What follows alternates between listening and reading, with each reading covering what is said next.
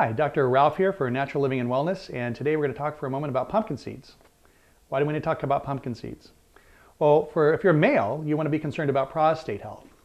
And so prostate health means that you need to feed your prostate what it needs in order to be able for it to keep itself clean, keep itself healthy. Now, one of the biggest problems is in the United States, there's so much chemical toxicity that's coming at you from the water, from the air, from the food.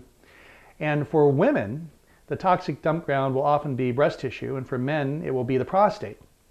So you can do a lot to make the prostate happy, but part of the equation, of course, will be to clean out the prostate. Now, if you have metals, you need to clean out the metals. If it's parasites, and it's parasites. But you also need to feed the prostate.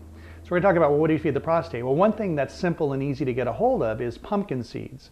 Pumpkin seeds make the prostate happy. And one pumpkin seed brand that I found that I really like is from a company called Go Raw. And they have uh, one pound bags of Go Raw raw pumpkin seeds. These happen to be flavored with a little bit of uh, Himalayan salt. It also is um, gluten-free, wheat-free, nut-free. They actually taste great and they're seasoned.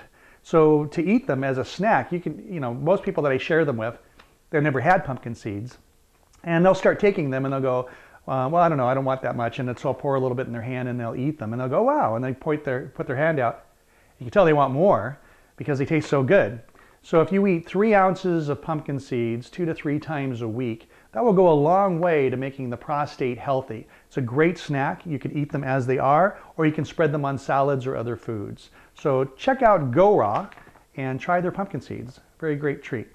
Thanks again. This is Dr. Ralph with Natural Living and Wellness.